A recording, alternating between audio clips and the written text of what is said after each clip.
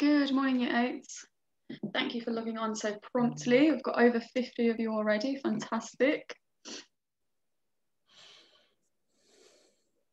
Just wait a bit longer for everyone to join.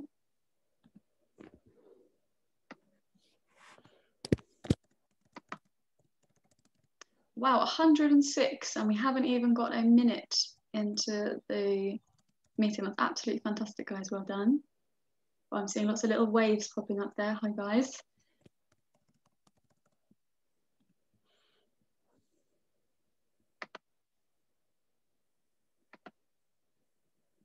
Lovely to see. So I can't normally, when the lesson properly begins, I won't be able to see the Q&A box, but I can see it now. And hi guys, I'm well, thank you. I hope you all are too.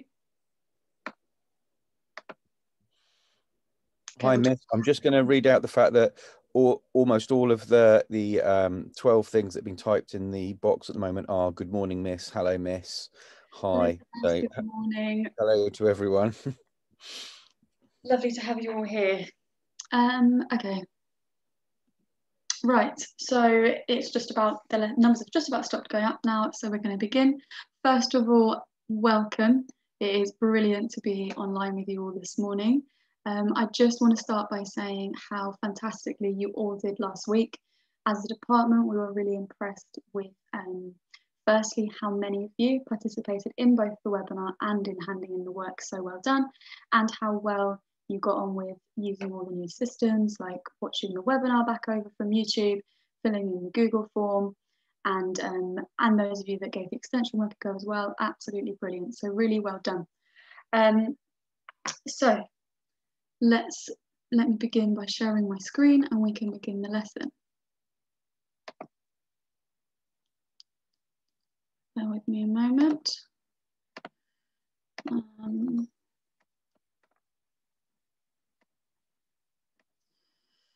right. Okay, I hope we can all see that. So same as last week, you'll have your webinar now, which should be maximum 45 minutes, probably a little bit less. And then straight away, you'll have work in the Google Classroom. The webinar recording will be uploaded. It will not be there instantly because the recording has to be processed, but it will be up as soon as we can. And a reminder not to spend over this time on your science because getting a work balance at the moment is really important. Making sure you not don't have too much on your plate. So same as last week, but just to recap, you're going to watch the webinar. If you have any questions during the webinar, put them in the Q&A box. Um, you don't need to memorize this webinar video or the slides. You will have access to them and we would like you to use them when you are completing your work. It's really important you do that um, rather than just racing through the questions. It's much better that you take your time over it. And if you're not sure of an answer, you're using the webinar and any other resources to help you because that's the way you'll learn the best. And it is quite clear for us to see who has taken their time and done it properly and who's just tried to get it done as quickly as possible. Um, and at the end, there will be a question and answer session as well if you don't get to ask everything during the lesson. So, um, firstly, as I said, you all did brilliant last week, but I just wanted to talk about a question. So it's really good with the Google Forms. They tell us if there's a question that a lot of people got wrong. So this was one that came up. Um, however, I am aware that I think this one could have been an issue with the image. So the image was meant to be, um, the arrows were meant to be the same size, but I can see how looking carefully you could interpret the arrows as being different sizes. So a lot of you would have put unbalanced. However, that would have marked it wrong for you. So I just want to put your mind at rest and say I'm aware that I could have definitely chosen a better image for that, as I can see how you could interpret that as being unbalanced. But the answer was balanced because also if we think about for a moment what it actually means if the forces are balanced, we can see that the metal block is resting on the table, it's not moving. And actually, if this arrow was bigger, like it looks slightly in this image, um, the metal block would have broken through the table and fallen. Um, so I just wanted to, um, first of all, acknowledge that some of you might have been confused by the answer on that question, but it also allows us to just talk a bit more about balance forces and what that actually means for the object. Okay, so this is actually saying what would happen if the metal block was in fact larger force than the reaction force of the table. So as the image might appear, so it would be the metal block would break through the table and fall. Okay, on to today's lesson. So after the lesson, you'll be expected to complete a short Google form quiz just to check your understanding of what we covered today. We're then going to do a practical. So hopefully you have ice cubes waiting already in your freezer. If you don't, for whatever reason, that's fine. There is other work you can do. And unfortunately, if you're if you're in school today, you also won't be able to do this um, this time. If you still have time left, there are challenge questions to do as an extension. This webinar will cover the difference between heat and temperature, the three ways heat is transferred, and the main differences between the three ways of transferring heat. Some of you may have covered some of these topics in a lesson already, which is brilliant. So this will be a bit of revision for you and a chance to ask any questions and really solidify your knowledge of this. Okay, so just to get started, we've got a few questions to think about. Um, I'm going to put up a poll in a moment, but for now you can think about these. So first one, what unit is temperature measured in? Second one, what unit is energy measured in? And a slightly longer thinking question. So what do we think is the difference between heat and temperature? So Mr. Lamb, could I have the first poll please? See if this works.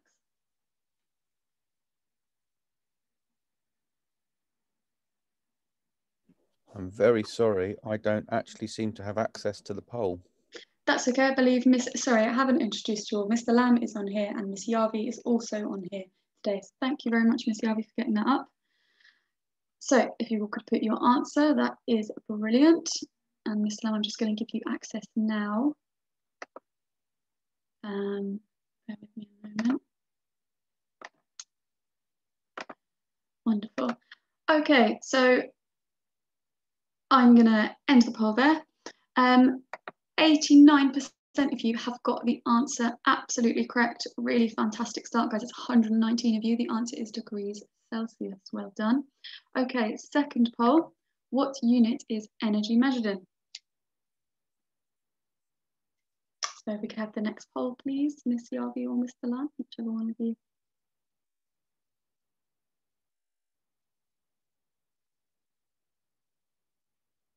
Wonderful. So same options as before. What unit is energy measured in?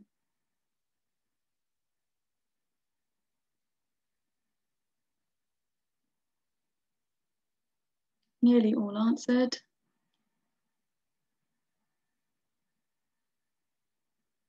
Okay, the numbers have stopped going up.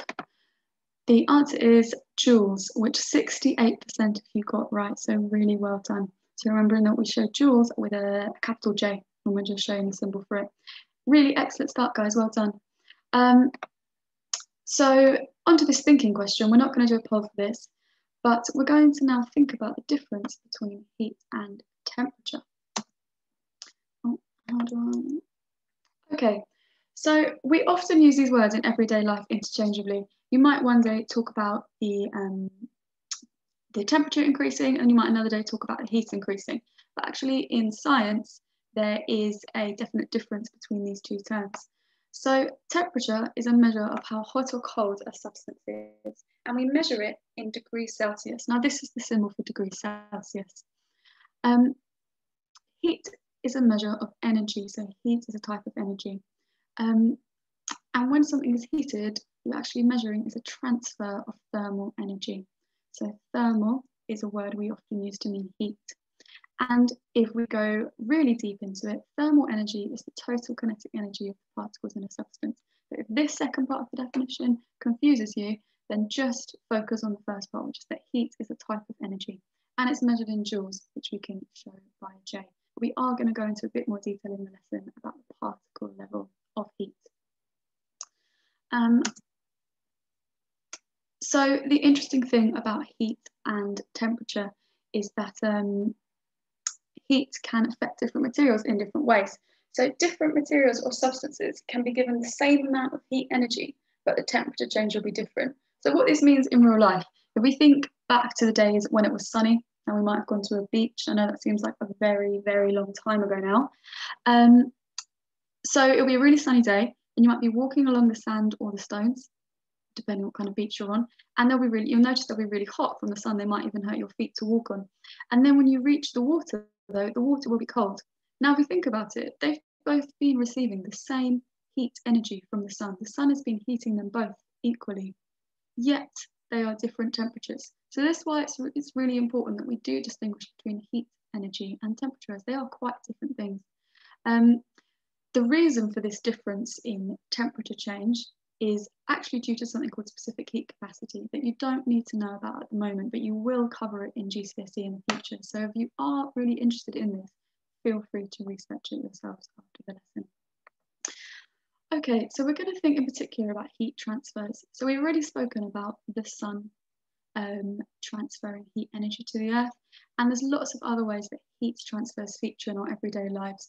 For example, the temperature at the sea. Don't know if any of you have been sea swimming anytime recently. It's very cold at the moment. Um, we also heat our houses, often with radiators.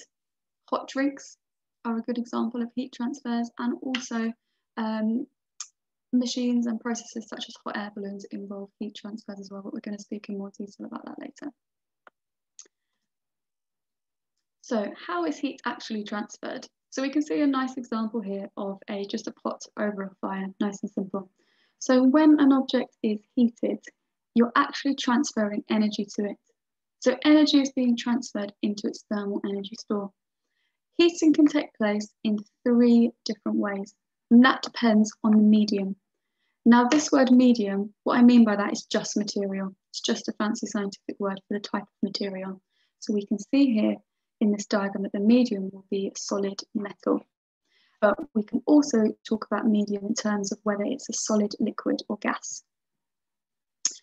Um, so the three ways of transferring heat are conduction, convection, and radiation. So these are our three key words for this lesson. So these are going to come up again and again. So make sure you really familiarize yourself with them. So conduction is our first type of heat transfer we're going to talk about. This might be one you may be familiar with already, as when you looked at metals in year seven, you might have thought about whether something was a good conductor of heat or whether something was a bad conductor of heat, and of electricity. So just so I can check our level of understanding already on this, Mr. Lamb, could I have the next poll, please?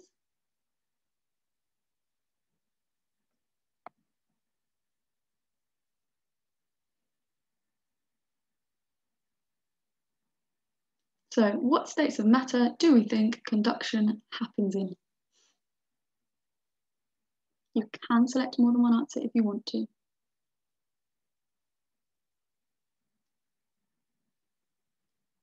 So we haven't done this yet, but this is just so I can get an idea of what you might already know about this.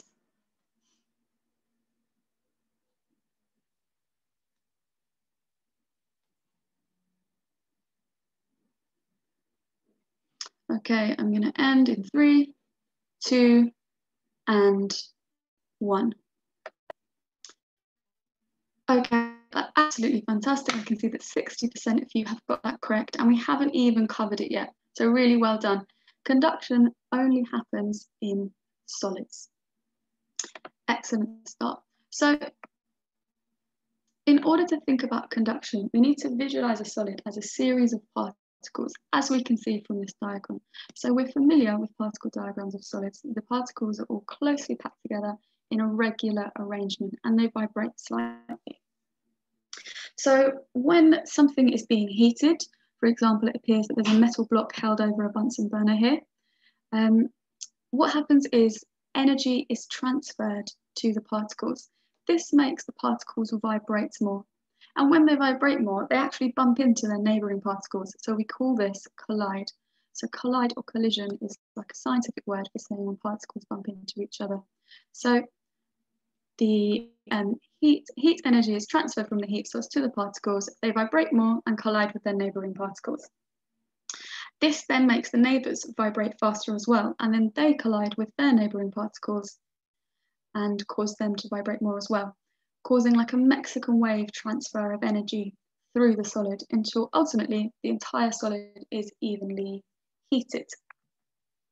Um, I'd like to put up our next poll now because I want us to have a think about, based on what you now know about how conduction works, why does conduction only happen in solids? So if I could have the next poll, we can all think about that one. Thank you. So why does conduction only happen in solids?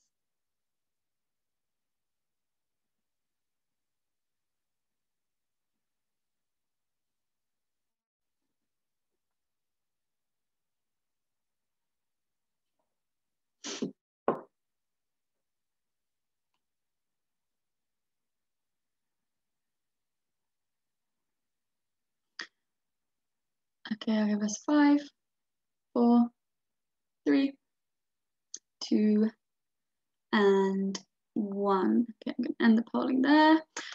Okay, a little bit of a spread of answers, which is great. It shows me that a lot of you are really thinking about um, really thinking about your answers. Um, the correct answer is the particles are closest together. So 55% if you've got that correct, which is brilliant. We're thinking into quite high level science here at the moment, so I'm really, really impressed with that. Um, so you're absolutely correct. Because the particles are closest together, this means that they can collide with each other when their energy increases and they vibrate more. So this isn't possible to happen if the particles are more spread out like in a liquid or a gas. Um, so we're just gonna just show you a recap of our particle diagrams just to remind us a solid, they are tightly packed together. So one vibrates, it's gonna impact the others and gonna cause them to vibrate as well, increasing the internal energy of the particles and then ultimately increasing the heat energy stores. But we can see in a gas and a liquid, the particles are more spread out, so this process can't happen. Um, so thinking about some key terms, a conductor is something that allows heat energy to pass through it. So I think we're all quite familiar with the idea that some materials are better conductors than others. For example, metals are good conductors. They allow heat energy to pass through easily. A thermal insulator does the opposite. An insulator stops heat passing through it. And you actually are quite familiar with a lot of insulators in your everyday lives. For example, a drinks cup. Let's take the um, kind of reusable drinks cup is often an insulator because um, what it wants to do is prevent any heat being lost from your hot drink. And also you can see I have a picture of somebody wearing a puffy winter jacket. So puffy jackets actually trap lots of air in and air is a really good insulator. So that prevents your body losing heat, which is what keeps you warm on to our very exciting practical. So Miss Yarvi um, has very kindly put together a brilliant video for you all, which um, shows how she carried out this practical. So you can use this to help you when you're doing your own practical. There's a practical sheet that's on your Google Classroom. You must use this as well. So you're basically going to be testing how well different surfaces, how, how good, you're going to be comparing how well they conduct heat. Um, you can choose a variety of surfaces. You don't have to do the same ones Miss Yavi has done, but you can do. But feel free to get more creative with the surfaces that you use. And I'm really looking forward to seeing the results. Um, if you have time to do this, I would like, oh, I didn't mean to play the video.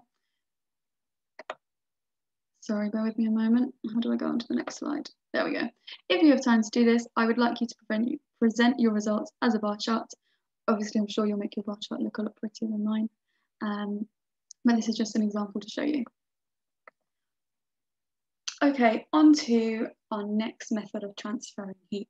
So this method is called convection, and this happens in liquids and gases. So while conduction only happens in solids, convection is how heat is transferred in liquids and gases. So we're going to look at an example of convection when a beaker of water is being heated on a Bunsen burner. Now this is something you've all done in science lessons. Um, and it's also the same process as what happens if you're heating a pan of water on the stove, for example, maybe a pan of soup or something. So what happens is if we have this beaker of water, we can see that the particles that are closest to the heat source are going to get heated quicker. So this is in this diagram we have here, this is shown by the red. So those particles are going to get hotter. Um, I'd like us to think about what happens to particles when they are heated up. Um, Mr. Lamb, could I have the next poll, please?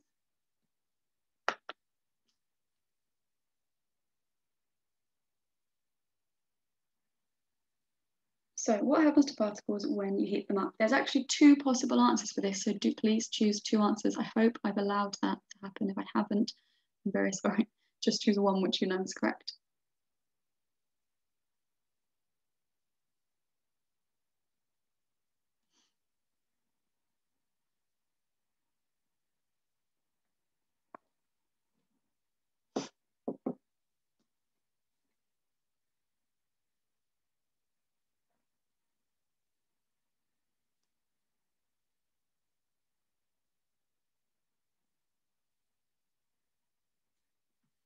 Okay, I'm going to end the polling in three, two, and one. absolutely fantastic. 61% of you have given one of the correct answers, which is they gain, oh, I missed them, why, but you all got it anyway. They gain kinetic energy and speed up. And 21% of you have given the second correct answer, the other correct answer, which is that they get less dense. So overall, 82% of you, absolutely brilliant, well done. Um, so we know that when you heat up particles, they gain kinetic energy, they speed up, they move around faster, they move around more. And they also get less dense, which means that they spread out more. So if you look at these di this diagram on the top, on the top of the slide, the green particles, we can see it shows an example of a less dense gas and a more dense gas. The density is oh, just about how close together the particles are. Um, so basically, back to our Bunsen burner example, what happens is the particles that are getting heated move around more and they spread out more, they become less dense. And if something's um, less dense, it rises above, it rises to the top of more dense particles. So obviously those cooler particles are going to be denser. So the hotter particles rise to the top. So we all know this concept of hot air rises. Well, this is exactly because of this, because of this, um, the fact that they get less dense as they get hotter. Um, so they rise to the top, but then as they're rising, they're actually moving away from the heat source. So then they're going to cool down, which will, as you can maybe as you can maybe work out, um, as they cool down, it will cause them to lose energy and become more dense again. So they will fall again. But then when they're at the bottom, they will get heated by the heat source again. And this is a cycle. And this cycle of moving particles and heat transfer is known as convection. And this happens in liquids and in gases. So if we were in a lab right now, we would maybe get to do an example of looking at convection currents in a beaker using some food colouring. Unfortunately, we can't do this at the moment, but please feel free to have a look at this video.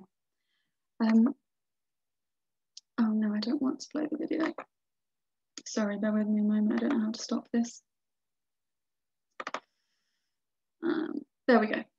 Um, convection currents also feature in our everyday lives. So ocean currents are partly caused by convection currents, so by differences in water temperatures around the globe. Um, there are convection currents underneath the Earth's crust. Maybe you learnt about this in geography. Convection currents are also what cause hot air balloons to, um, to work, but we'll talk about that a bit more in a moment. Um, convection currents are also the reason that radiators heat your house because what they do is they heat the air closest to the radiator first and then um, that starts a convection current cycle.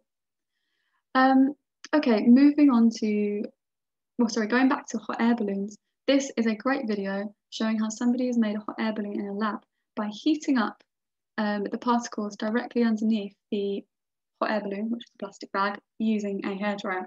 I must really, really stress, do not try this at home. Hairdryers can very easily set on fire especially if they're not being used in the way they were designed for. Um, if you are with a responsible adult um, and they want to try this with you, obviously that's fine, that's up to them. But I'm just going to stress again, do not try this yourselves at home. It is potentially very dangerous. But do watch the video, it's fun and interesting. Right, on to, oh, every time I try and do the next slide, I accidentally start the video. Great. Okay, um, our very own Miss Garvey has made a brilliant video to tell you more about the scientific process behind convection. If you want a little bit more information of that or you thought my explanation was a bit brief, please do take a look at that.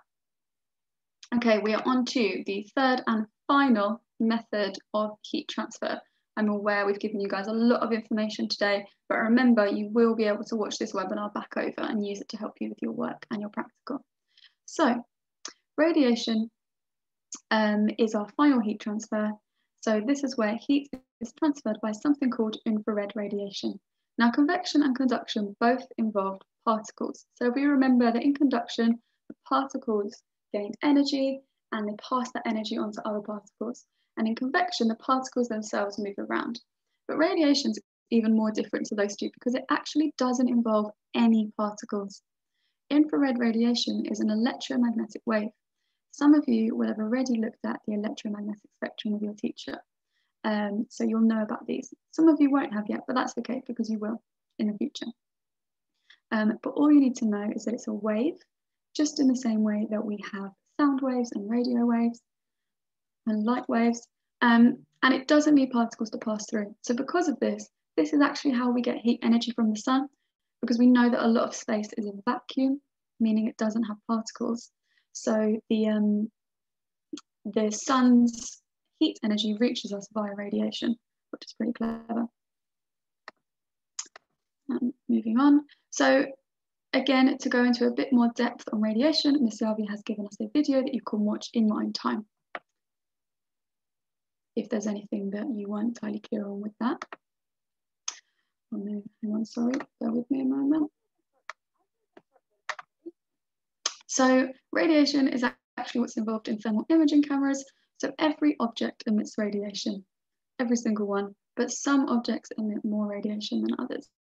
Um, so thermal imaging cameras actually detect the amount of radiation something emits and uses that to make images, which is a pretty good, pretty good way of doing it and pretty fun fact. So we're going to think for a moment about radiators because radiators are actually um, named in a quite confusing way. Um, so I believe that there is another poll on this. So how do radiators transfer heat to the environment? If we could just get the next one up, that would be great.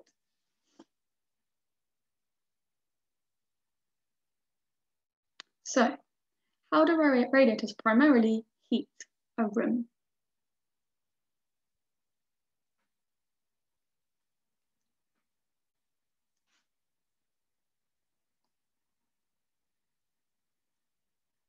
Eighty-five of you voted already, absolutely brilliant. You're all clearly paying lots of attention and very switched on this webinar, which is fantastic.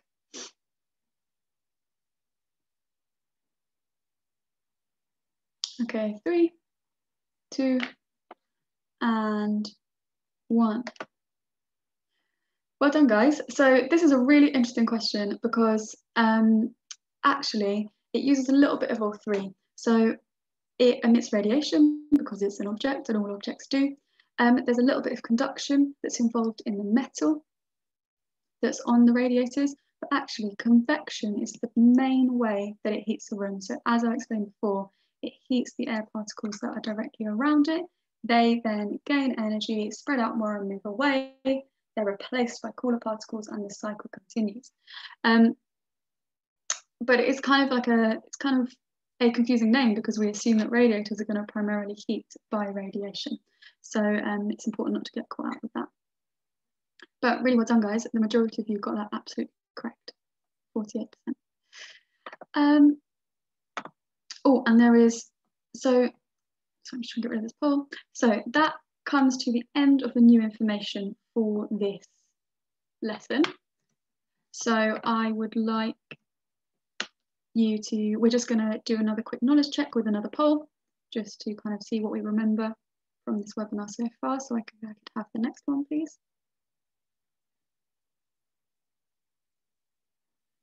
So just to remind us what type of heat transfer happens in solids. So thinking back to the beginning webinar,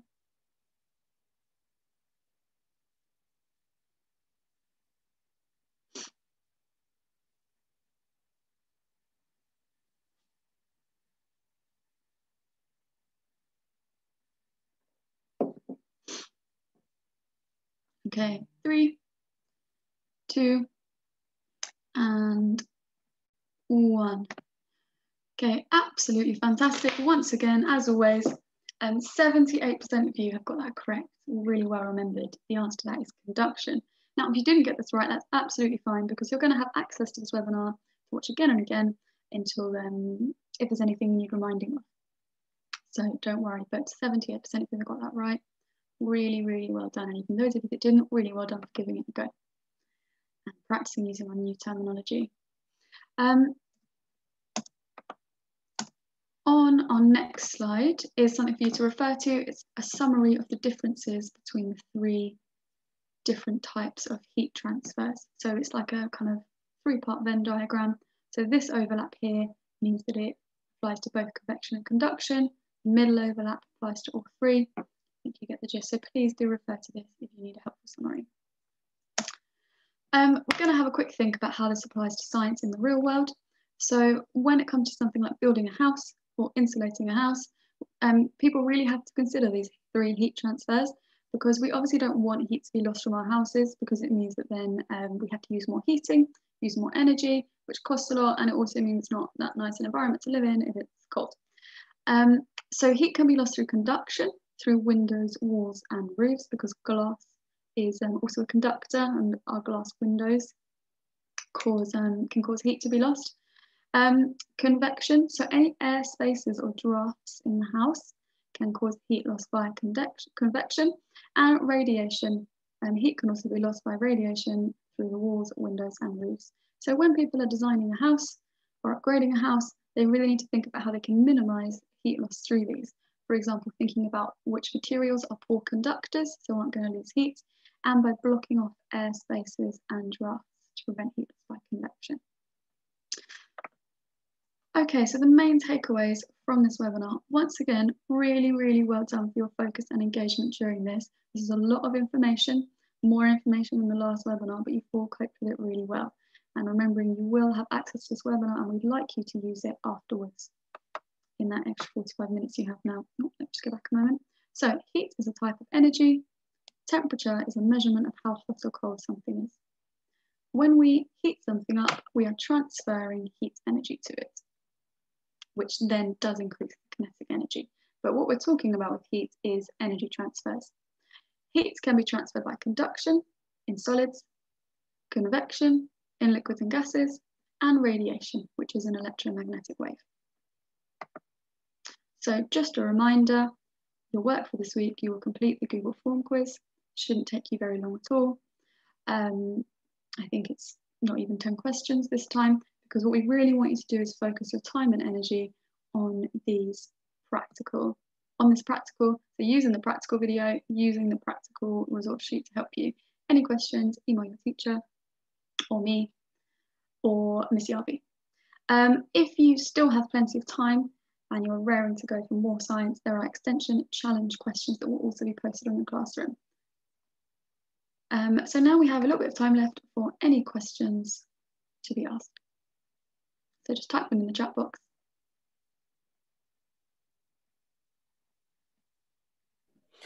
Hello, Miss. The question that's come up the most is, so what is the practical? Um, and do we have to do it? Um, yes, the practical is your, it's part of your set work for today. So as I said, the Google form shouldn't take you very long. Um, obviously, if it does, for whatever reason, take up the entire time, um, that's fine. Um, we obviously don't want you to spend over your allocated time for science. Also, if you don't have access to ice cubes, that is also fine. So we did put a reminder in your Google Classrooms, but maybe you don't have the ice cube um, pockets to make them. That is also fine. You can instead do the challenge questions. But we thought it would be really nice to make this an activity where you guys can get away from your computer for a minute and do something a bit more practical. Um, and also to improve your practical skills. Um, so yes, if it is possible, we would like you to do this. And if you can, if you'd like to upload any pictures of your practical setup to onto Google Classroom, please do, we would love to see that. So everything will be explained in the video um, that Miss Yavi has made, it's in the slides. But just so you know now, all it involves is some ice cubes and something to time and surfaces, but that can literally be the table, the floor, a chopping board, as Miss Yavi used hope that's clear. We've also got quite a few people said I haven't got any ice. Um, obviously, Miss has just covered that. That obviously, if you don't actually have any ice, then um, that's going to be have to be something that you skip and do um, the quiz and some of the questions instead. Mm-hmm. So we will for next week. We'll try and get tell you a couple of days in advance if you've got another practical and what it is you need, so you have time to get that ready. We did tell you yesterday, but maybe that was a bit late. And also if you do want to put ice cubes in now and then do the practical later in the day, it's also fine.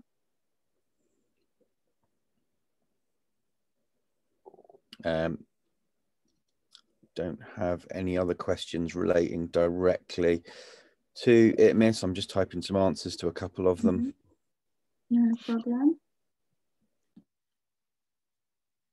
Okay, well, we'll just, I'll give another minute for Miss Lama Misiavi to finish answering any questions, typing them to you. But um, really, really well done today, guys. Thank you for your participation and your engagement. Feel free to log off and leave the webinar if you don't have any more questions.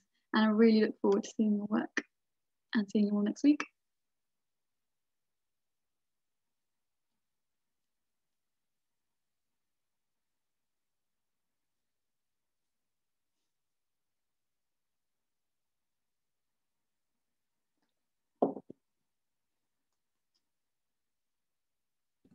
I think we've covered all of the questions now, Miss.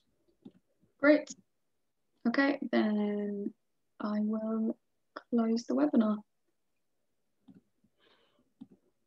So well done again, everyone. See you next week.